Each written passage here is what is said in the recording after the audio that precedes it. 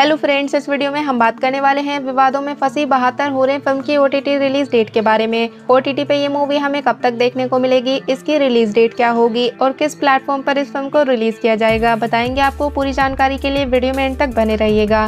दोस्तों, संजय पूरन सिंह चौहान के निर्देशन में बनी फ़िल्म बहत्तर हुरे कल्याणी सात जुलाई को हिंदी सहित ग्यारह भाषाओं में देश भर के सिनेमाघरों में रिलीज़ होगी। हालाँकि दोस्तों, इस फ़िल्म का पोस्टर जब से सामने आया है, बहत्तर हुरे तभी से विवादों में है।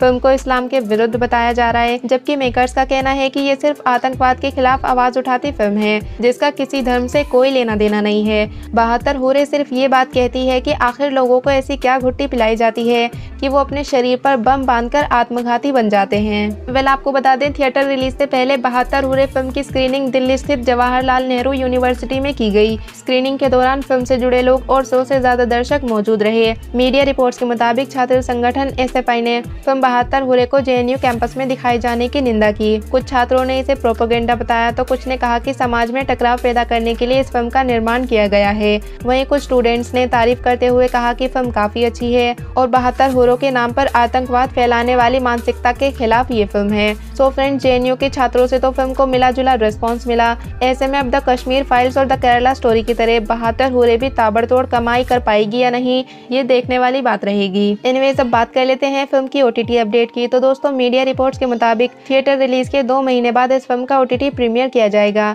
यानी बहत्तर हुए सितंबर के फ़र्स्ट वीक में हमें ओटीटी पे देखने को मिलेगी।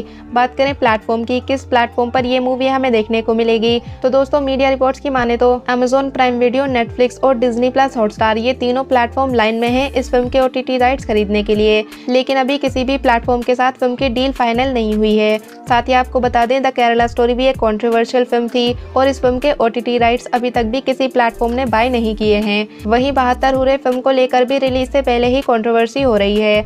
तो ऐसे में देखने वाली बात होगी कि इस फ़िल्म के ओटीटी राइट्स किस प्लेटफॉर्म के पास जाते हैं। वेल आप बताएँ दोस्तों, बहत्तर हुए फ़िल्म को देखने के लिए आप थिएटर्स में जाने वाले हैं या फिर फ़िल्म के ओटीटी पे आने का वेट करेंगे? कमेंट बॉक्स में ज़रूर लिखिएगा। अभी के लिए बस इतना ही। वीडियो अगर पसंद आई हो तो लाइक शेयर एंड चैनल को सब्सक्राइब ज़रूर करें। For more information state unit with positive news